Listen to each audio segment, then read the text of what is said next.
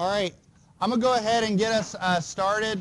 Um, a couple quick announcements, and then we'll we'll get into things. Um, first off, I know that a few of you last week had uh, some questions about how Blackboard was uh, indicating some of the, uh, uh, the the quiz grades, like some stuff was showing up twice. I called uh, Blackboard th- themselves, and they basically dug into the class, and, and they didn't see anything wrong on on our end. So if there, if your Blackboard account is showing some, some duplicate grades, you might want to contact them yourselves and see if it's an issue with your account. The reason why I say that, if it's happening to this class, it might be happening to other classes as well. But again, rest assured, I've got all of your grades. If you're getting the quizzes done, I've got them. So, uh, so, so there's, there's no issue on the grade side. Um, I did want to mention a couple things about the, the next couple of weeks because um, I've started to get some questions about this. The next few weeks in here are going to be some sort of Marshall-themed presentations, and uh, specifically week 11 I think is going to be pretty important because week 11 we're going to discuss uh, how to register for classes for next semester uh, and go through some things like what you need to take next semester, uh, some general pieces of advice and whatnot. And I think a lot of those questions are going to be answered uh, in that session. So I just wanted to uh, bring that up. Uh, any other uh, housekeeping questions before we get things kicked off? Okay. So uh, we're going to continue the same uh, uh, pattern that we have in previous weeks. I'm going to start off by having one of our faculty members introduce themselves for a few minutes, and then I'll turn it over to our uh, main speaker. So for this week, I have one of our mechanical engineering faculty here. His name's Dr. Iyad Hijazi. He's going to tell you a little bit about himself and what he does here at Marshall. So let's everybody, let's give it up for Dr. Hijazi. Here's this.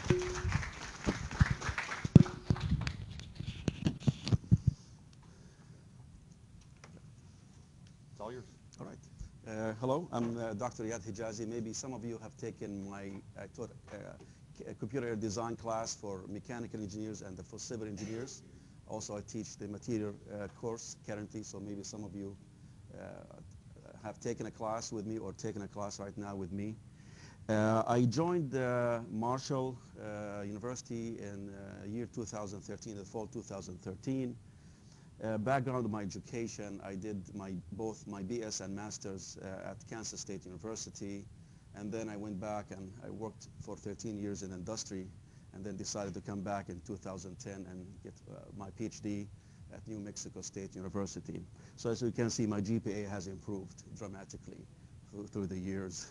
Studied harder and maybe got more mature. Uh, okay, so uh, at Kansas State University, both when I was uh, doing my master's and my PhD, I worked both as a teaching assistant and research assistant. Most people are getting funded, you know, when you do your master's or PhD. Uh, so at Kansas State University, uh, actually my area was computer aided design. So uh, that's why I have a really strong background in I used C++ and a lot of 3D packages during that time. And I used object-oriented programming C++ for my thesis. Uh, so my thesis was uh, development of object-oriented uh, feature-based design methodology for 3D solids. And then I implemented actually what we did in a software, 3D software. so that really helped me later on uh, when I got a job with one of the companies. Uh, then, of course, I did my master's at, I worked both as a teaching assistant and as you know, research assistant at other universities, but uh, for Kansas State, in addition to, you know, doing my master thesis, I also did some graduate teaching assistant, like grading papers and, and so on for thermodynamics at that time. Uh, then uh, later on, um, uh, I did, uh, after working for 13 years in industry, when I came back to, uh, to do my PhD at New Mexico State University, in the beginning, I did my, some research using finite elements uh, analysis on pyrotechnic valves. The, the, the, research was funded by NASA. And then uh, once I finished this uh, project, I decided to switch to nanomaterials. So my background in programming helped me to, to get into nanomaterials and really enjoying it and still enjoying it until now. So I worked both as a graduate teaching assistant and a research teaching assistant during that time. Uh, published a couple of papers. Uh, and I'm still, actually, in some of my research, I'm still building on the things that I did uh, during my uh, PhD. And then uh, once I finished, I, went, I did my, also my postdoc at Georgia Tech, uh, continuing on this area. Uh, once I finished, when I finished my uh, master's and BS, after my doing my master's, I, then I went back to Jordan. I worked in the Jordan Pipe Manufacturing Company, uh, ordering material. I was the head of the import section. I was actually the only person in the, the department, so I was the head, ordering, ordering materials uh, for the, uh, you know, for the steel, uh, the pipes and equipments, and so I ended up also taking 30 credit hours of uh, courses of, uh, of, you know, course related to banking and the letters of credits and so on. Then, uh, you know, so it's the first job was, wasn't really exactly what I wanted. Then I got a job as a fire protection engineer. So that was an improvement. And I did that for a year and a half, designing sprinkler systems, both following the American standard, the NFPA, and the European LPC. Uh, and then once we used uh, uh, AutoCAD at that time and some software for uh, simulations of fluid dynamics and you know make sure everything is good. And then once we finish everything, also I worked in the site. So almost in a way I worked like a civil engineer, making sure that those sprinkler systems are installed correctly, everything is done right, and all the way up to testing and uh, commissioning of the the the the, uh, the system. Then after that, you get a better job closer to what I like, designing, doing as a designer, working as a design engineer, and basically mainly working designing uh, plastic molds.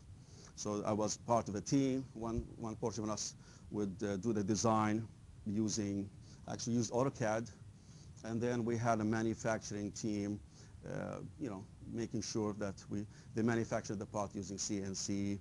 So it was also really interesting to, be, uh, to to do this job. So I got good experience designing plastic molds. Then I got a better job in Athens, Greece. The pay was maybe five, six times what I was getting in Jordan. And Greece, Athens, really beautiful. It's a beautiful country. Lots of islands, lots of places to see. So I worked as a senior automation engineer. Again, my background in uh, programming and design came handy, supporting engineering application uh, like MicroStation, AutoCAD, Triforma, other things. But then I convinced them that I can help to develop a software, actually, a 4D navigator, uh, to build it uh, for to view. I mean, our clients were like ExxonMobil, Chiyoda, Chevron. We're getting a lot of drawings with its mechanical or civil or electrical, and they wanted a way, um, uh, something to be able to navigate through the projects and also to see things in 4D, linked to like Primavera, to SQL servers, where you can do color que queries and look at things. So I, I did this for me for seven years. We developed a, a 4D navigator, and now they're still using it uh, both as commercially, they're selling it, and also in their projects. So that really uh, was really int an interesting time and exciting time for me. But then we missed the U.S., me and my family. We came back I did my PhD, and my wife did all PhD also at uh, both of us at New Mexico State University.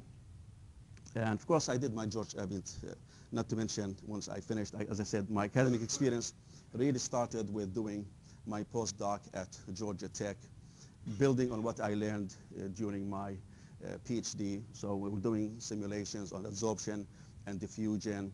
The project was funded by ExxonMobil uh, on zeolites. And basically with methane related to zeolites is used as way to filter gases from uh, the, you know, the, a product of uh, uh, the, the, the, the, gas, the natural gases that you get from refiners or other sources.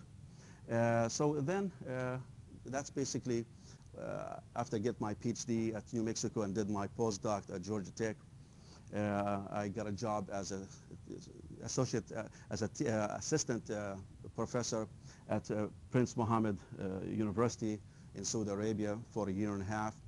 And I taught a lot of the courses that I'm teaching right like, like now, like materials corrosion, manufacturing processes, and, and computational methods.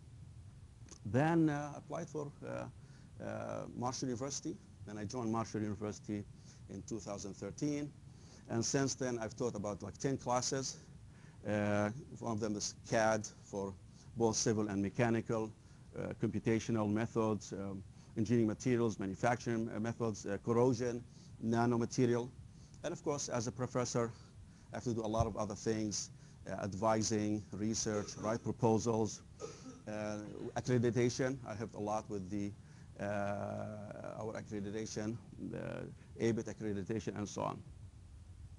And my research, again, still in nanomaterial. Nanomaterial is an interesting area because the properties, uh, this, you know, as materials, there's a lot of combinations of uh, things that you can do with material and, uh, and, and, try to find material with interesting properties. Could be mechanical, could be thermal, could be electrical, could be uh, magnetic properties, and so on. So things are on the nano level different than things on the bulk level. And of course, in nano materials, we build things from the bottom up, you know. Uh, so uh, again, uh, it's an interesting area. It has a lot of applications, whether in space and uh, in electronics, in medicine. And you see people work in nanomaterial in whether in physics, chemistry, or engineering.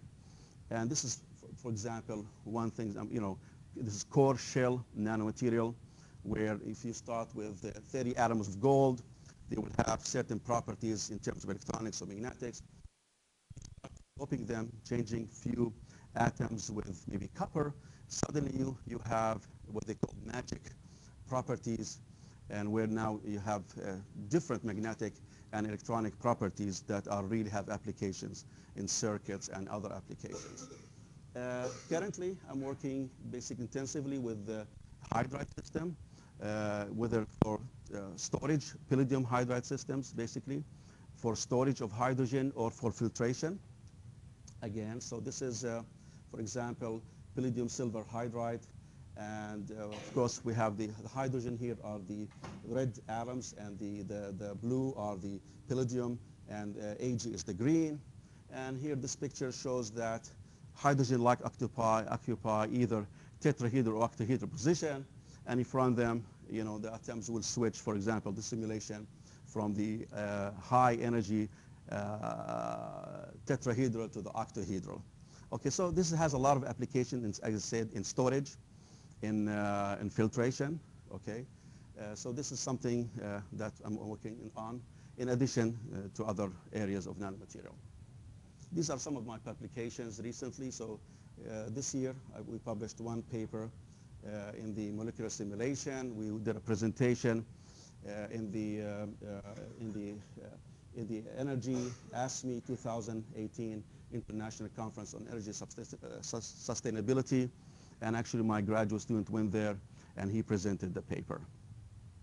Uh, and now, again, we're almost done with also publishing another paper. So we always I have like four graduate students doing uh, a project and three doing master's thesis. And already graduated two, two students with master's thesis. And finally, uh, was uh, we, as part of uh, being a professor, we have to write proposals. So lately, late, uh, lately we, we, submitted a proposal, a joint proposal uh, with two other professors from chemistry, one from geology, one from physics, for a new SEM machine, scanning electron microscope. I use it in my materials course, and hopefully I can also use it in my research. And it's worth $400,000, and we're getting this new SEM uh, towards the end of this semester. And uh, I got some awards in the 2010 you know, this was nice. Actually, also even my paper, the last paper, when we went to the ASME, it was nominated as one of the best papers, but I didn't get the award this time. Uh, it depended on how maybe my graduate student did not do a good job in presentation, so we didn't get it. So that's basically part of what we do as a professor. Uh, we have to uh, teach courses, uh, prepare for classes, research, write proposals, advising, and so on. So really, it's a very consuming but interesting job. So anyways, one, this is something that we always cover in the engineering profession 104 that actually, as you can see, you know, I did my BS, then master's, the PhD. And of course, my income uh, would go up as you get more educated. So this is, shows you that uh, the higher, the more education you get, uh, the more pay, and the less chances of being unemployed. And so it shows you that people with uh, less than high school. This is, of course, 2014. Uh, they make maybe uh, less money per hour than what you would make if you are have a high school diploma versus if you have a college, uh, some college degree versus BS versus master's versus a degree in uh, doctoral. Of course, you'll be making more money as a PhD holder than what you make usually if you have just a high school or a, BS. So education uh, does pay, you know. And uh, so this is basically a summary of uh, my path so far from the time I started my BS all the way to being here at Marshall. Okay, that's it. Thank you. Anybody have any, uh, anybody have any quick questions for Dr. Hijazi? Yes. What was your favorite field of engineering that uh, you were kind of experimenting with? Uh, I, I enjoy working with computers. So, so to be honest, uh, if you put your mind into anything, you start enjoying it. So I also enjoyed developing. Software development was also exciting. So that's what our sprinkler system was also. Really, once, once you put your mind into something, although I did not like being in the field, to be honest. I like more being in the office, thinking that to be in the outside, uh, you know. So uh, nano, nanomaterials, I would say, right now, what I'm doing is very exciting for me. You know. And design is excellent also. Design, really, these days, especially with 3D printing, it opens the door for a lot of possibilities. You know, so anything else? All right. Okay. Thank you. Thank you. You're welcome. Can you get that microphone off of Yes. I'm going to keep my uh, introduction of our main speaker somewhat brief because she's got a really important topic to talk about today, and I want to give her as much time as possible.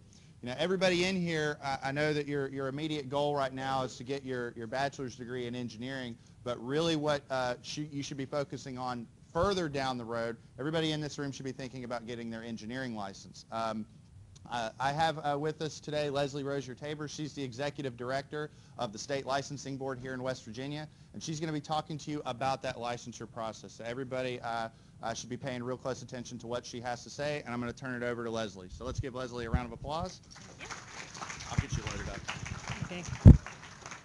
All right, so uh, real quick background on me while Greg is getting my slides up. I am a, a civil engineering graduate myself of West Virginia Tech went on to get my master's degree at WVU, started on my PhD, but then got an opportunity to go back and get my um, take my uh, teaching job in the civil engineering department um, back at my alma mater, and I did that for eight years before I took this position in 2002. So I've had this job for eight, almost 17 years at this point, and um, Greg is right. I know your immediate goal, and it's going to be the first step in the licensure process, as you'll see as I show you a, a quick slide here in a moment of every step along the way, is getting your ABET accredited engineering degree, so you're right on track here at Marshall.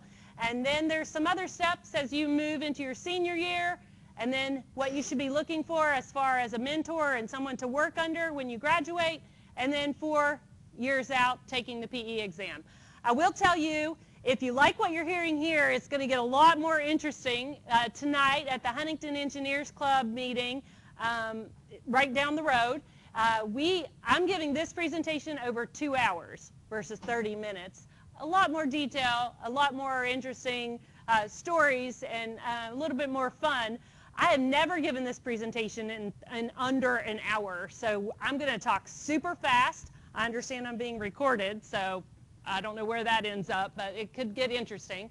Um, but I just want to go over who I am as far as the agency I represent, the national organization that you're going to need to be familiar with when it comes to professional engineering licensure, what our duties are and what the national organization duties are, talk about um, why you need to be licensed to begin with, the examinations that you have to take. I know that's probably like a dirty word. You don't want to hear that, but there are two lengthy exams. Um, but I will tell you with any learned profession, whether you're talking about medical, being a doctor, a dentist, an architect, an accountant, um, frankly, even a cosmetologist, you're, you're going to have to um, take examinations beyond your undergraduate engineering education in order to enjoy the benefits, one of which uh, the former professor that was just up here mentioned was increase in salary in order to enjoy those benefits, you're going to have to um, to move on and take that initiative on your own. And it is an initiative you'll take on your own unless your, unless your boss gives you a kick in the butt because no one's going to force you to do it. But it's also going to, you're going to plateau and not be able to move forward unless you do it. Okay, for everyone that's here now, if you did not receive the packet, white envelope of information when you walked in, um, it looks like we're several short. So at my meeting tonight, I'm giving away uh, similar documents, but my coworker is coming to join me. He's going to bring extra. I just texted him. We'll get them to a student or a faculty member that attends our meeting tonight, and they'll be outside Dr. Michaelson's door um, tomorrow. So make sure and get that. Everyone should at least have the engineering law booklet because there's plenty of those. So those are the two things that came with your packet, and I'll be referring to some of that as we move forward. Just real quick, our website is plastered on multiple documents inside of that package. You'll need to visit there. I don't know what kind of assignment Greg might be giving you from class today, but perhaps you'll need to visit there to, to um, complete that assignment. But there's a lot of information about our agency mission, uh, vision, and history. But primarily, these are the two agencies when it comes to engineering licensure that you need to be familiar with. If you decide when you graduate you're moving out of state, just replace number one with the state that in which you are moving to because every state legislature has set up a board of engineering just like the bar for attorneys or the medical board for doctors that isn't uh, responsible for protecting health, safety, and welfare of the public via that agency. And ours is in, located in Charleston, and the other is NCEES, um, and to save time, I won't tell you what it stands for. It's right here in front of you. But they are the makers and owners of those exams I spoke to you about, and they have a lot of other responsibilities as well. So let me tell you real quick about ours. We're responsible for evaluating applications for both exams, um, for your references, your education, your experience, checking all those boxes before you're allowed to sit for the to ensure if you pass those tests, then you can be certified as an engineering intern, and then after a number of years of experience, you can become a PE. Then we will grant um, registrations to qualifying individuals who become PEs, companies to become um, to have a certificate of authorization so they can offer engineering services in our state. Um, we maintain those records for infinity. I mean, we have them even after you pass away. We're responsibility uh, responsible for maintaining the records on licensed engineers for life um, and beyond. Process uh, annual license renewals. Actually, now it's biannual renewals, just like with your driver's license. When you are issued an occupational license, professional license, you'll have to renew it every year, two, or three, depending on what state you live in. We're right there in the middle at a two-year renewal, and in order to renew, you have to turn in continuing education. So, FYI, your education doesn't end upon graduation from Marshall University you'll be required to have conti continuing professional competency. And that doesn't mean you have to take college courses. You can attend seminars, conferences, obtain that in a variety of different ways depending on what state you're in. And the number of hours you need um, is typically 15 a year. So it's like two days over a year. And, and Greg and I can tell you, we go to so many conferences, seminars, meetings that you typically can double or triple that with no problem. With the good, all that's good. It's increasing your salary. It's taking on more responsibility. But with the good comes kind of the bad. And the bad, some of you I saw were flipping through the newsletter. If you can't sleep tonight, pop on our website or look at some of the newsletters for some of the most recent bad. And the bad is when you have complaints that are filed um, with our agency, we're again responsible for um, investigating those, determining if there is um, any type of wrongdoing with respect to their professional engin engineering duties and responsibilities, and in, if so, enforcing those. And so it can go as minimal as a reprimand, $250 fine, all the way up to right now, we're sitting on someone waiting to pay us over $40,000. We have license revocations and suspensions. And in fact, if they continue to disregard the board's order, they can be put in jail. So that's just something you need to be familiar with. So we have five board members that are appointed by the governor and five staff members. Um, here are the gentlemen. I will tell you we've got a faculty member from West Virginia Tech. We've got a former department chairman from West Virginia Tech who's now a consultant, consultant, consultant, consultant. So again, they're from around the state and they have a number of criteria that have to be met, so many years in um, the profession, they have to live in the state, they must be citizens, etc. Here's the staff in our office, um, each one having different roles and responsibilities, but um, our, the, the lady in the back with the, uh, that's the tallest in the picture, she has recently retired and he's and been replaced by um, Edward Igloski as our new board counsel. We're responsibility for, uh, responsible for having open meetings that are open to the public except for executive session, and that would be when something of confidential nature is being decided upon, like employment termination or uh, discussing ongoing cases that guilt or innocence has not been found yet. And so we abide by not only the engineering law that you have in front of you, but other parts of West Virginia law and open meeting proceedings. So we're, we have to advertise those meetings so far in advance. We have to make them open to the public. Um, we have ethics commission rules we have to follow. We have filings with the Secretary of State's office, and then of course our agency. All this, th- these screenshots are coming straight from our website. So as you can tell, we usually have an eight-hour full-day meeting. We meet every other month. This is the number of complaints and investigations that are going on at any given time. So um, you can view those agendas on our website um, in a, on that link, agendas and the minutes. Um, now, as far as the national organization, they're a nonprofit that's responsible for licensure of engineers and surveyors, or, or rather the tools that helps the states to license them, and that is primarily the FE and the PE exam. Um, they also encourage uniformity of standards throughout the United States for licensure. So if you get licensed here in West Virginia, should be pretty sure you're going to be able to get licensed in Texas or California. Now, because I'm at Marshall, I can say that. If it, I was at an engineering technology school like Fairmont, Bluefield, um, West Virginia Tech uh, has some technology programs, I'd have to be careful because we're only about among 60% of the states in the country that allow engineering technology graduates to move through the licensure process. So someone that gets licensed here with an engineering technology ABET accredited degree and wants to go get licensed in Kentucky, it's not going to happen because Kentucky doesn't recognize an engineering technology degree. So those are kind of things you need to be familiar with. But again, I'm telling you, you're on your path to a four-year ABET engineering degree here. So passage of the FE and and appropriate engineering experience, you'll you'll have no problem getting licensed in any state you choose to work. So uh, primary responsibilities of NCEES, again, I've said maker and owner of the exams. That's going to be the part that's most important to you. Um, they also do a lot of promotion and educational outreach. If you were a foreign degree holder, you have to have your uh, an evaluation of that degree there.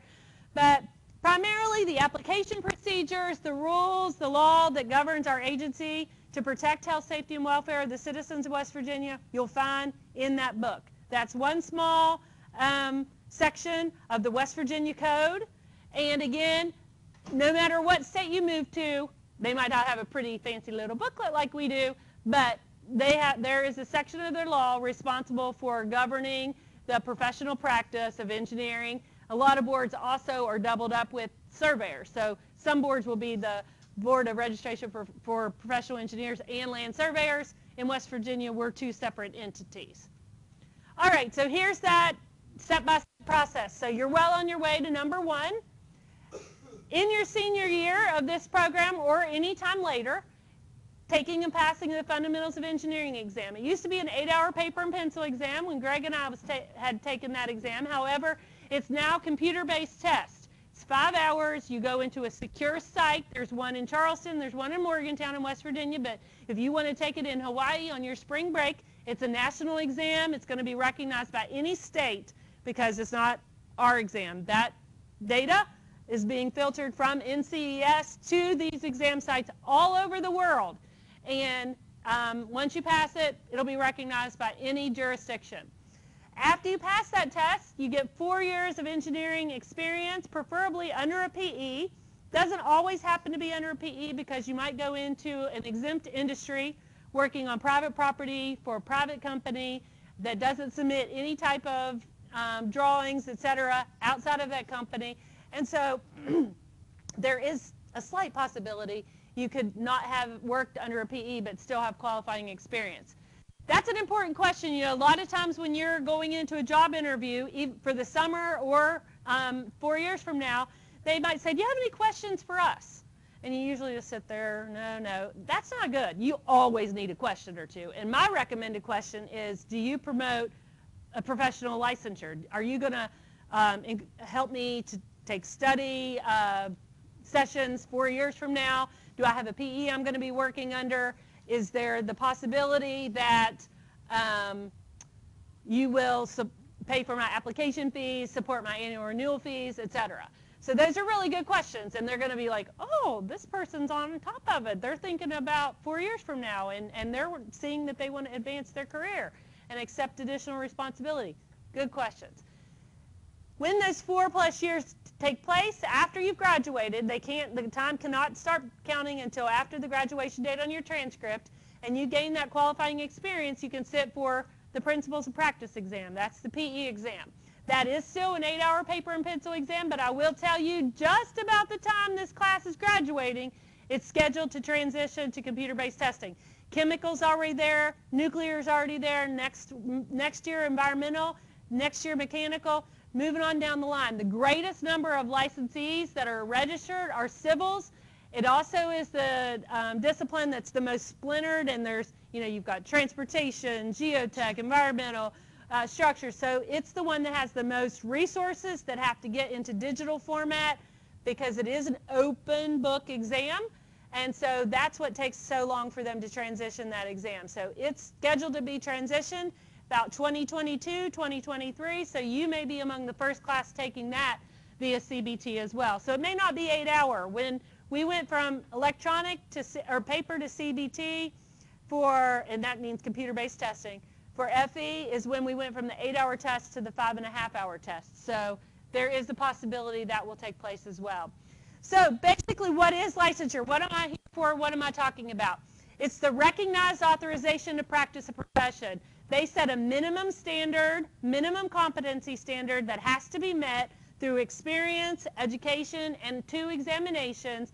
Once meeting that standard, they say you're minimally competent to put those initials PE behind your name. It's assurance of, of, of an expert area in a particular field, and um, I don't know why that's doubled on the bottom. I guess it's doubly important. Um, so anyway, that is the key to licensure. It's the same thing as saying, do you want to go to a doctor that has not met minimum competency standards? Probably not. Do you want an accountant to do your taxes that hasn't shown minimum competency standards? You know, probably not. Do you want a lawyer representing you in court between freedom and jail time that has no minimum competency standards? It's the exact same thing. We don't want to be driving over a bridge um, designed by someone that has no structural engineering minimum competency. Okay, I am going to tell you this. There's four videos. These are really good videos. They're all on my website under the social media, YouTube, whatever section. Yeah. So they're only like two to three minutes each. They're really interesting. They're very encouraging. They're real life stories from people that were in your position five, six years ago.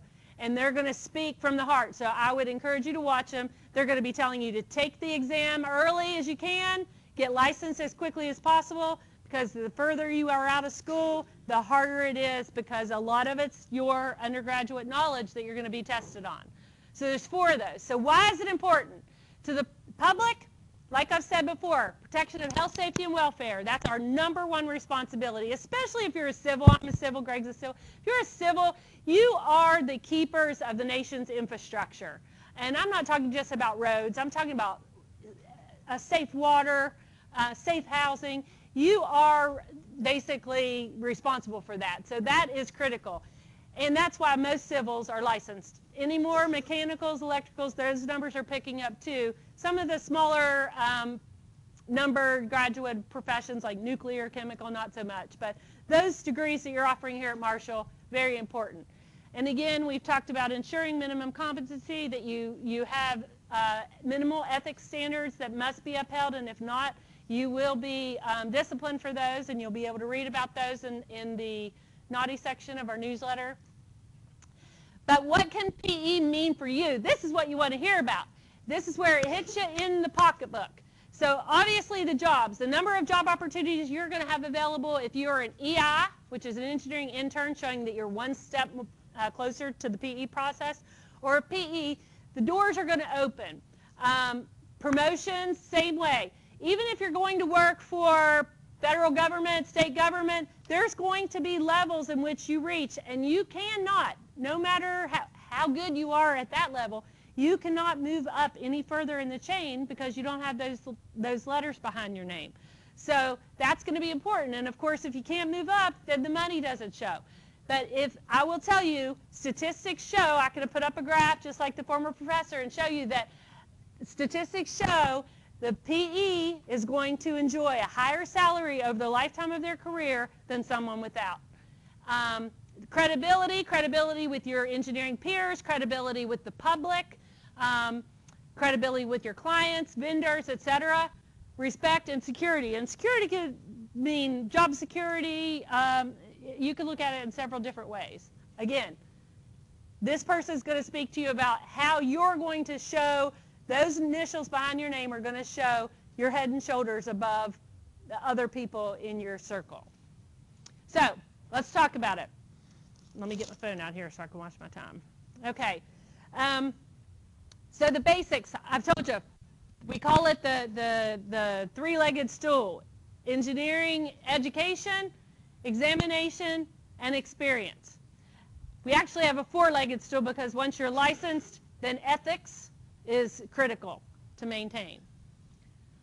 So again, you're here, no question. You don't have to check it. We've checked it for you. Um, take that FE and pass it as a senior or as soon as you graduate computer-based. Eh, paper and pencil exams were twice a year, April and October. Now, any day that the center is open, and it's even open, some of them are even open on Sundays, but any day that the center is open, you can sit for the exam if you've signed into NCEES, paid for your exam, and scheduled it. That's just like scheduling a hotel room or whatever. You know, you just log in, pay, and then pick your date. All right, and, and I will tell you, I'm, I come back your senior year. That's what I thought I was coming for until Greg informed me that this was freshman. And I said, oh, he said, it's only 30 minutes. I was like, oh. But I come for their senior seminar class, and we're here for two hours, right? So um, you don't have to memorize all this, and a lot of it's in the information contained. But it is something you need to have constantly in the back of your mind when you're sitting there thinking, shall I sleep or not sleep in Calc 3 or Diff today? My recommendation is not sleep. Um, but anyway, keep it in the back of your mind that this is something in your near future. It'll come around before you know it. Uh, experience, again, and I've told you it's got to be qualifying experience, which means progressive in nature, verifiable by a former employer, uh, with dates and details of the engagement. Preferably a PE as your supervisor, but if not, you can put a cover letter on your app and tell the board why you think they should consider it. And then um, don't let that four years discourage you from going to get a higher level education because a master's degree will earn you a year of experience. A PhD will earn you an additional year of experience. So that's critical. Um, pass the PE exam. Those still, for most of you in the room, are going to be paper and pencil for the next several years um, and only in April and October. But you may, you may, depending on how long it takes you to get that four years of experience, qualifying experience, you may get the uh, computer-based version. Um, need to be careful. In West Virginia, after three failures, there's some extra hoops you have to jump through, defining to the board an educational plan to cure your deficiencies. In some states like Rhode Island, three strikes and you're out. Done. Never going to take that test again.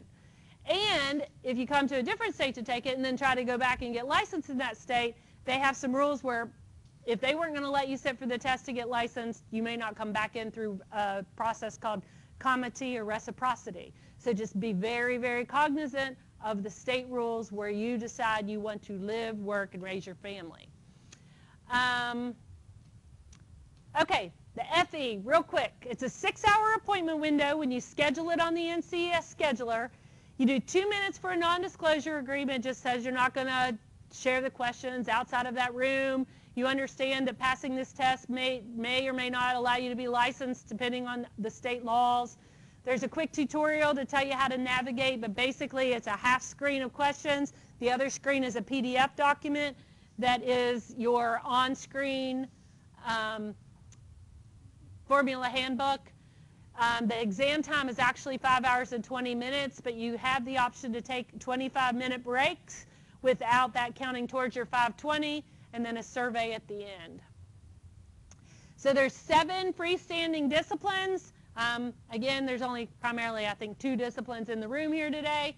Um, but there's typically about 110 multiple choice questions. And then again, it's not open book, but you do have a reference handbook that is available to you right now. You could go on the NCEES website and put in your email address, and they'll allow you to download it for free. When it used to be the paper and pencil test, I actually got those books back, passed them out. I told you to sleep with them under your pillow because you need to know that book front and back. Now it's a searchable PDF. So if you need to know Bernoulli's equation, boop, find, search, find, pop it in, solve.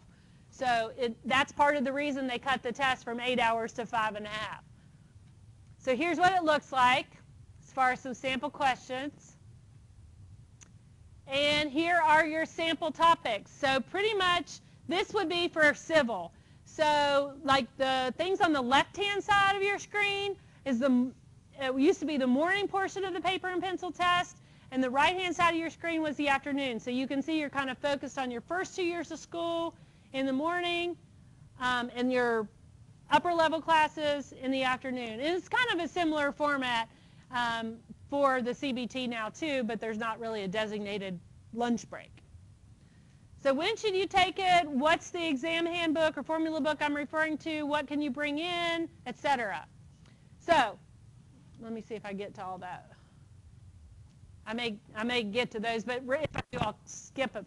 Senior year, if, I, if you haven't learned anything today, as soon as you can, take the test. What's the NCEES exam guide? That's the on-screen formulas for you. You can bring nothing to, you can't even bring a pencil in the FE exam room. They videotape everything you do. They have video monitor or video projectors from all um, sides. They have sound taping, and you have a wipeable board that you use for your scratch work. Um, practice available, practice tests are available on the NCEES website and sold by all kinds of other vendors. And you will get your results within da, da, da, da, five to seven days. Could be even closer. If you take the test on Monday, sometimes they release the scores on Wednesday. So um, it's sometimes a couple days. Paper and pencil, if you're still on paper and pencil for PE, you get them six to eight weeks. So it's great to have CBT. So here's just a real quick snapshot of, sometimes people are like, well, I'm not sure if I want to take it in civil. I think I might just take it in um, general. But this shows you that you should take it in what you've been studying for the last four years. The higher the pass rates, if you're taking it, um, oh no, this is the grad, sorry, this is the graduate versus uh, current student versus graduate. This shows you take it as soon as possible, not years after you graduate. Um, this shows you taking it two years out versus three to five years out, how the passage rates drop. Okay? Another video that speaks to that exact same thing, take it, take it early. Um, again, typically seven to 10 days, but really it's five to seven. How to prepare, You'll have probably review courses here at the university, not anymore? One now. Or We're doing one in senior design now. We've got through about half that list. Okay, because I used to be an adjunct professor at Marshall, and we would teach FE. Now they've actually incorporated it into part of the senior class, which is fabulous. Um, okay, it'll be a little ways out, but let's talk. Right now, the PE exams, paper and pencil. Uh, eight hours, discipline specific, 40 questions in the morning and 40 in the afternoon for the majority of the tests. Open book. Right now, people come into that exam in the Civic Center with a wagon. A wagon, and I'm not kidding, suitcase or a wagon. and you can have anything that is a bound document. So like you can't have extraneous papers flying all over and landing in your neighbor's corner. But if it's if it's in a, a three-ring binder or a bound book, it is allowed. Calculator policies. Uh, there no programmable calculators allowed in the FE exam or the PE exam. There is a list of acceptable calculators, um, one Casio, several TIs, um, but if it's programmable features, it's not allowed. Um, here are all the exam disciplines. So um, mechanicals and civils, it is one test, but then in the afternoon section, you can pick a, a, a discipline-specific area.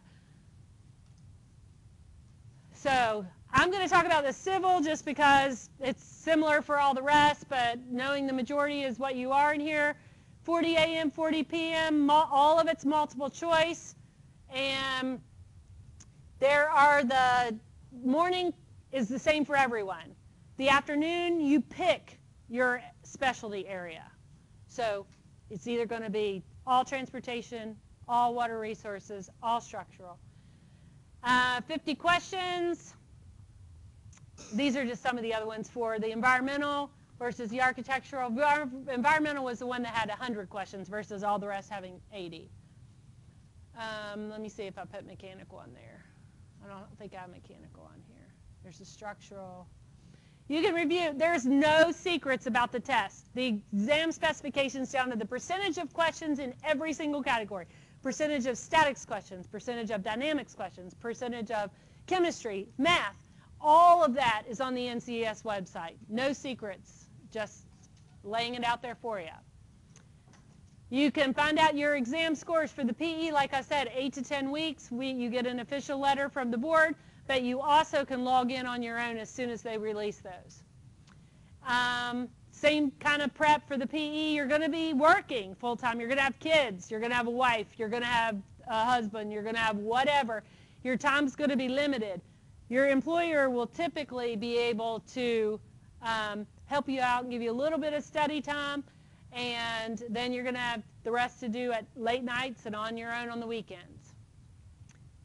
And then, like I said, once you pass, you get your PE license, and then the last step is just every other year submitting your renewals and continuing education requirements.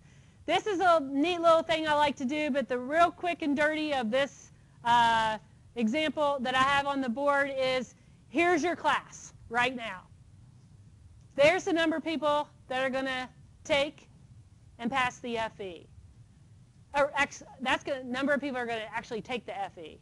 That's the number of people that are going to pass the FE. So we've we said like 50, only 50% of you will ever take the initiative and be happy enough just with a lower level position. If you take the FE and you stick with it, only about um, 40% are going to, or a little less, are going to pass. That's how many are going to take the PE exam of those that have passed the FE exam, and that's how many percentage-wise that are going to get to that PE designation. You have to have initiative. You have to have drive. You have to have an interest and a responsibility to make this world a better place by accepting more responsibility, but also being interested in higher salaries, promotions, owning your own company, whatever it may be, and without having PE behind your name, that's likely not going to happen.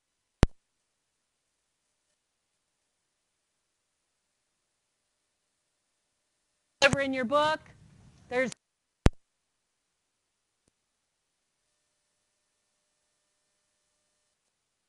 you want to see if somebody's licensed or not that you may go to work for, it's here.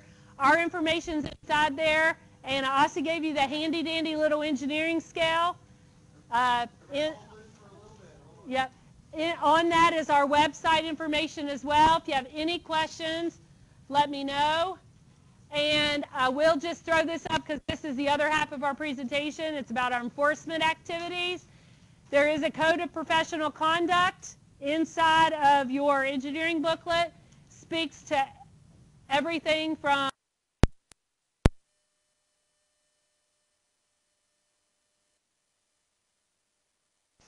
colluding with others to benefit yourself or your employer, all the way through um, not taking on projects in which you have no uh, knowledge or expertise, to dealing with misdemeanors and felonies. So take a look at it. If you have any questions, contact us. Other than that, I'll see you all in four years.